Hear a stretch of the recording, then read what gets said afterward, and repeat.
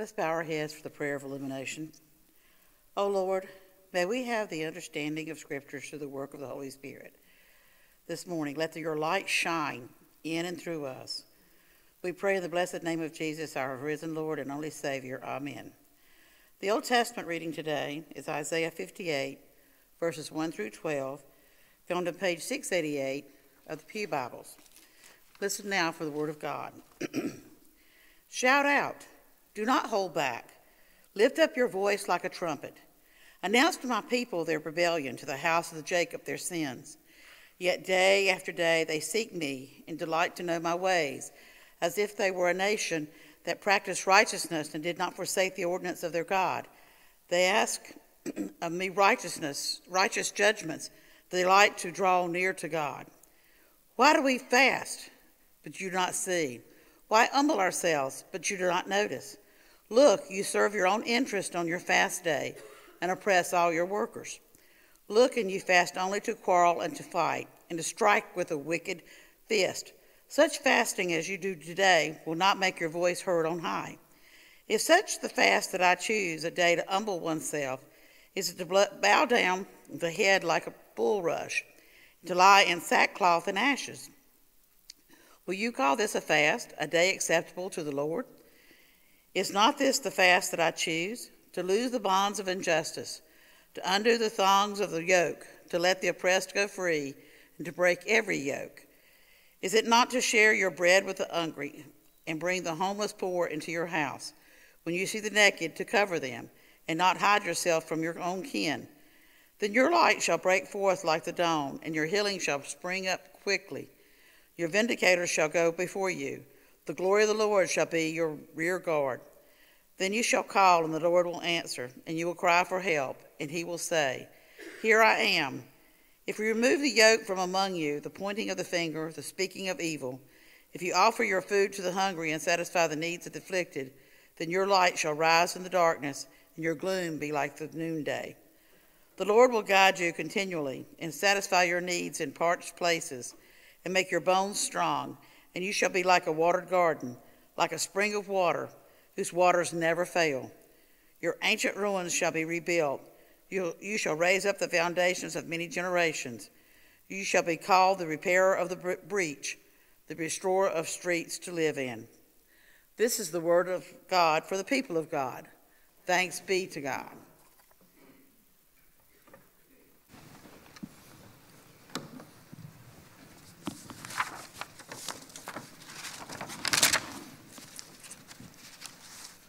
Our New Testament lesson this morning is found on page four of the New Testament section of your Pew Bible, if you'd like to follow along. The uh, bulletin says that we're reading from Matthew 5, verses 13 through 20, but actually I've caught those last four verses, so we're just reading Matthew 5, verses 13 through 16. I invite you now to listen for the word of the Lord. You're the salt of the earth. But if salt has lost its taste, how can its saltiness be restored? It's no longer good for anything, but it is thrown out and trampled underfoot. You are the light of the world. A city on a hill, built on a hill cannot be hid. No one, after lighting a lamp, puts it under the bushel basket, but on the lampstand.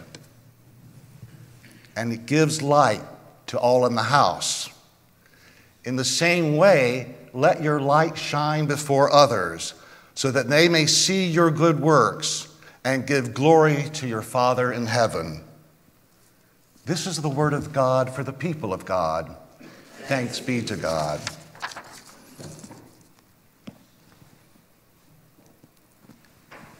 You're the light of the world. You're the salt of the earth.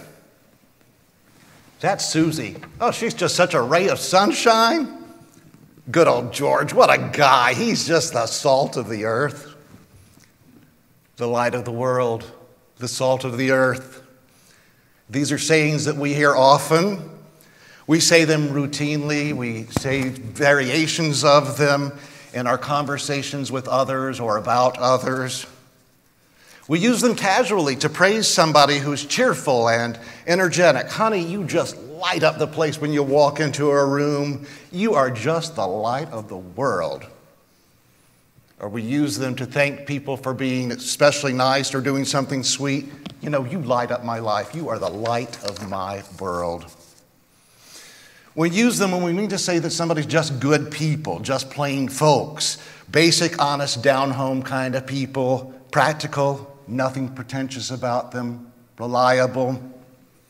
The kind of folks you can count on. They're just who they are the salt, the salt of the earth.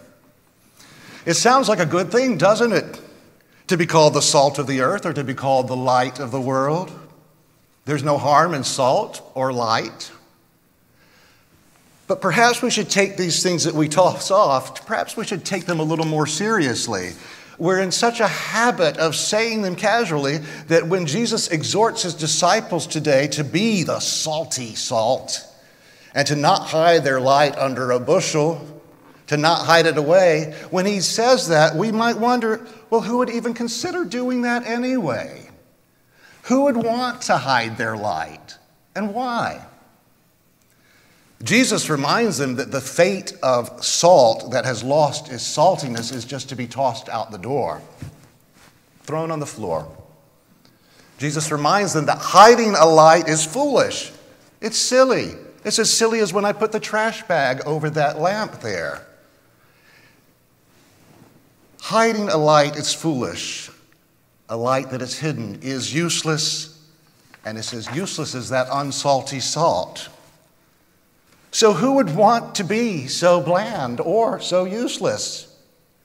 Again, who would hide their light? And why would they do it? But some do. Strangely, some people do. So maybe there's more at stake than initially meets the eye salt and light. Salt and light. Let's look at those things a little more closely. They're common, everyday, ordinary things, things that we are certainly familiar with, things that we use all the time. They're things that the people that Jesus spoke to would have been just as familiar with. They also use them every day in the same manner that we do. Salt and light. Common items, common every, everyday items that common everyday people, simple people like us, and like the tradesmen and the fishermen and the others who followed Jesus could relate to. Salt and light. Basic, but indispensable. We can relate to them just as easily as those people of Jesus' time could. And we can relate to those basic salt of the earth kind of people in Jesus' day too, because we have a lot in common with them. So let's take a look at those two things first. What do we know about salt? What are its properties? Well, one, it cures or preserves. Think of salt cod fish that's dried out in a box in layers of salt, or more to my taste, think of country ham. I'm going to be hungry by the end of this sermon. Salt heals. If you've ever had a sore throat, I suspect you've been advised to gargle in salt water. It really helps. And you might consider washing a wound in salt water. Now, it's going to sting like the dickens, I got to warn you on that. But as that sodium chloride forces the liquid in our cells out of our body, it forces any liquids that are bacterial too. It will do a pretty effective job of cleaning out toxins. Three, salt provides essential nutrients, and salt gives savor, flavor. It brings out the best in whatever it's used on. Think of how bland a bowl of unsalted grits is. Or think how scrambled eggs come alive with flavor when you sprinkle just a little salt on them. And we've all tasted that pot of soup that we're making and we go, you know, it needs salt. And so we take a little salt and we throw it in the pot and bam, the flavor comes alive and all the goodness all the goodness gets sharpened. And light. What about light? Light guides, light illumines. Light makes things more beautiful. Light makes us feel safe. It shows us the way. It shows us the way, and it shows others the way. And it shows things as they really are. And this light, though, this light that Jesus talks about, I think it's something really special. Something more than something we may, might just casually toss around in glib phrases. This is the light of the world. The light of the world. But wait a minute, the light of the world, that's Jesus, isn't it? Wasn't it Jesus? Am I remembering correctly? Wasn't it Jesus that just a few weeks ago in our scripture lesson when he went down to Capernaum and called those fishermen, he was calling his disciples? Wasn't it Jesus that the same scriptures tell us was the great light? That light that the people living in darkness and living in the shadows of death have seen, the great light that has dawned. And wasn't it Jesus that the gospel writer John says that he came to testify about? That light, that light that was breaking into the world, this new light, the light of all humankind, the light that shines in the darkness, the light that the darkness has not overcome. Isn't it Jesus that John was talking about when he says, the true light, the true light that gives light to everyone? And don't we recall Jesus himself saying somewhere in the scriptures that he was the light of the world? Yeah. We had that in our uh, absolution today, our assurance of pardon. Jesus said, I am the light of the world. The answers to all those questions is yes, yes, yes, yes, yes, and yes. In John's gospel account, Jesus says clearly in chapter 8, I am the light of the world. And then he goes on to say, Whoever follows me will never dark, walk in darkness, but will have the light of life. So that's it. This is exactly where everything just turns in an extraordinary way. The whole order of the cosmos, the whole order of being, just shifted right in this one moment. And if we're not careful, we might miss this really incredible event. You know, our lectionary doesn't really do us a good service last week and this week in breaking into two weeks the sermon that is in last week's gospel lesson, the Beatitudes, the Sermon on the Mount, and this week's lesson. It doesn't do us a lot of good in breaking those things in two because it's all part of one piece. Jesus is the light, and he's now giving the light to those who follow him. And those followers are those same motley fishermen and tradesmen and accountants and tax, tax office clerks that Jesus, that Jesus addresses right here today in this portion of his great sermon, his greatest sermon, the Sermon on the Mount. And if you recall, in the scripture right before ours today. He's just giving a long list, a long list of blessed are they who phrases. Blessed are they who are poor in spirit. Blessed are the meek, those who mourn, those who hunger and thirst for righteousness. Blessed are the merciful, the meek, the pure in heart, those who are the peacemakers and those who are persecuted because of righteousness. And then he ends this extraordinary list by turning directly to the disciples and telling them, Blessed are you. See, he's just said, Blessed are they, and now he says, Blessed are you. Blessed are you when you are persecuted because of me. You're the salt of the earth and the light of the world. There's really no break between those two things. Blessed are you when you are persecuted because of me. You are the salt of the earth, you're the light of the world. So suddenly now we see things. We see things in a whole new light. We see things in a whole, a whole lot differently. The fate of his disciples when they receive this light that Jesus has just passed to them is to be persecuted, is to be insulted, and it's to have all sorts of evil things said about them. Jesus tells them, You're going to be persecuted in the same way the prophets were who were before you. You're the light of the world. So now, in the light of that understanding, we can see exactly who and why somebody might want to hide their light under that bushel. Jesus is the light of the world, and he doesn't divest himself that, but he passes that light on to them. And in doing so, he passes on to them all that goes with it.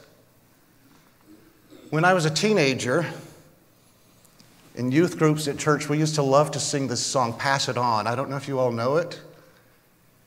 We took a candle and we'd start at one end, it was in the darkened sanctuary, and we'd light the candle and then we'd pass it down the row. And the lyrics of the songs were, uh, song was, uh, It only takes a spark to get a fire going, and soon all those around can warm up in its glowing.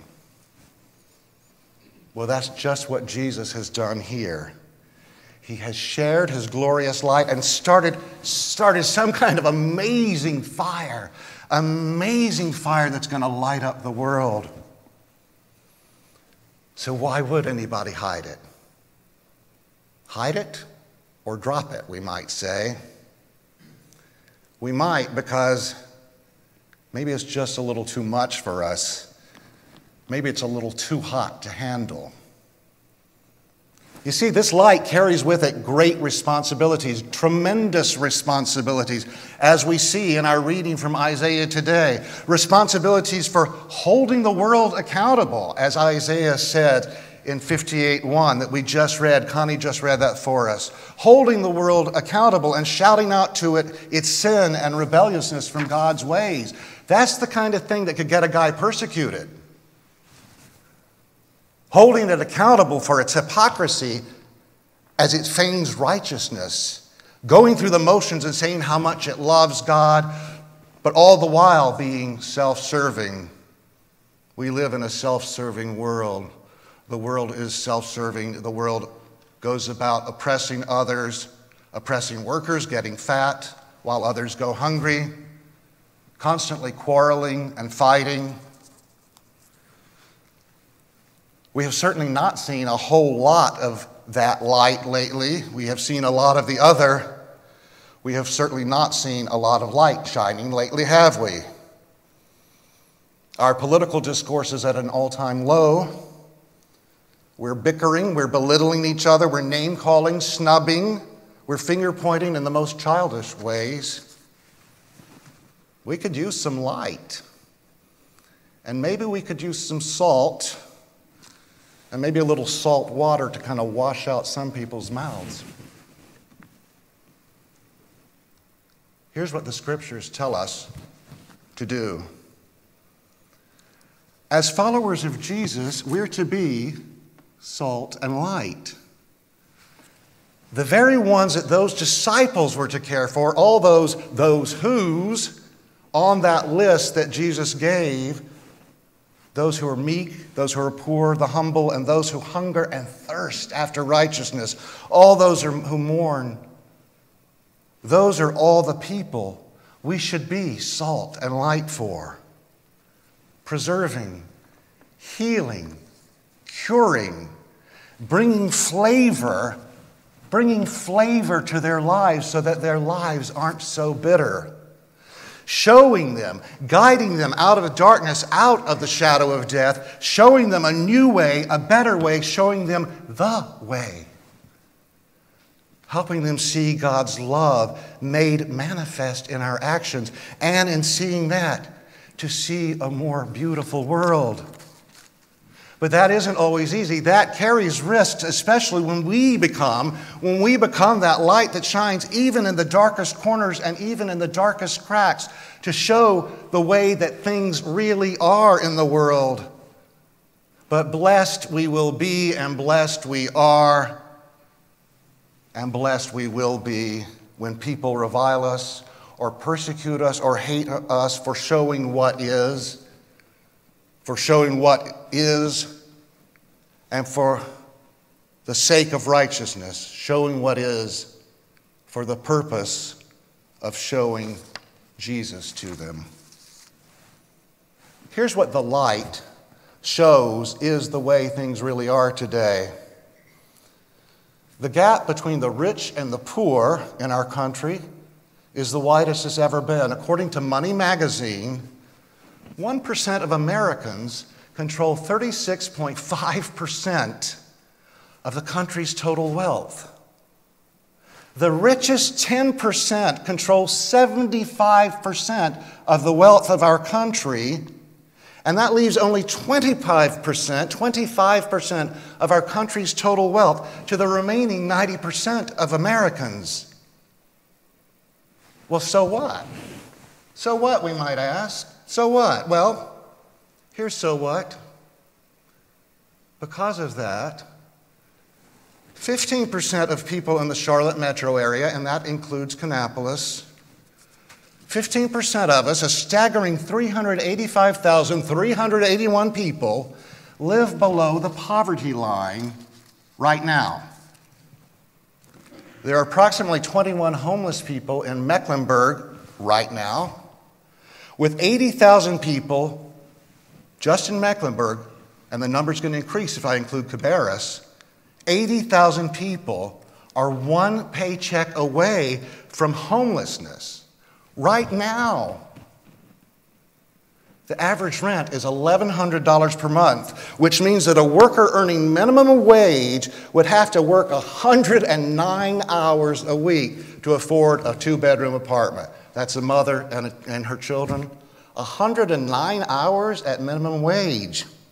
To afford a one bedroom apartment, it would maybe be a little better. You only need to work 94 hours a week at minimum wage. Well, we must bring God's light into this, and we must say something is wrong right now if that situation is wrong. Do we build more affordable housing, or do we dismantle systems that keep people in poverty and keep them from being able to afford housing? Or do we do both? We must do something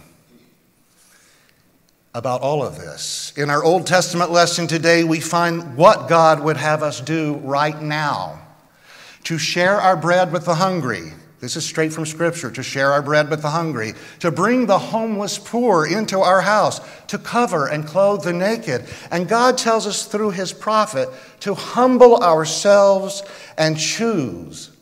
Choose to loose the bonds of injustice, to undo the thongs of the yoke, to let the oppressed go free, to break every yoke, to break everything that binds and everything to break everything that blinds anyone, anywhere, from seeing the light of God's love and from seeing God's righteousness and basking in it, and basking in it as children of God. And to do all that, to do all that, even if we are reviled and persecuted and hated for it by those who stand to gain from keeping the light of Christ out of the darkness. What happens when we don't shine the light is that we just get more of the same of what we've got, and the world isn't going to be any brighter for it. Here's what happens if we do.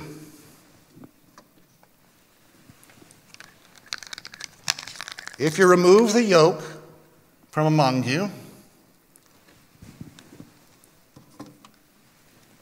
if you stop pointing the finger,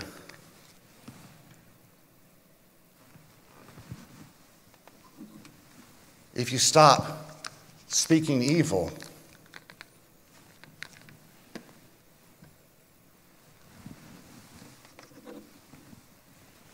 if you offer your food to the hungry,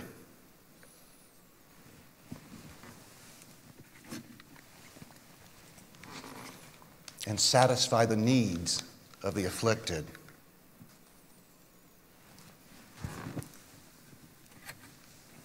Sheltering the homeless and clothing the naked. Then your light shall rise in the darkness, and your gloom shall be like noonday. See how much brighter the world is? See how much brighter the world is when we do? Here's a story. Where did I put that? There it is. Here's a story I heard just this week. There was a man who was responsible for warning trains that the bridge down the tracks had washed away. One night, a train came and the man showed his lamp, but the train went right into the chasm.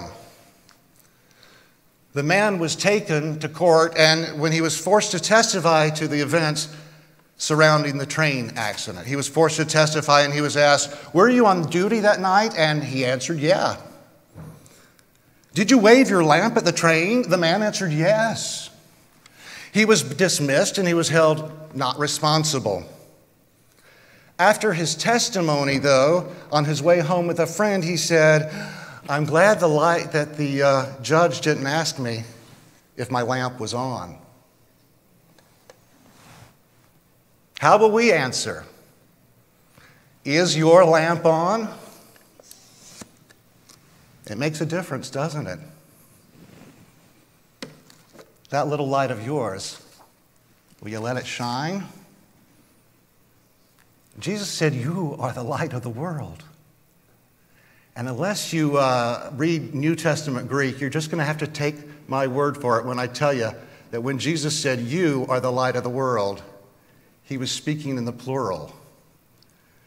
He said, You, all of you, all of us, are the light of the world. Let it shine. Let it shine. Let it shine. Let it shine. Amen.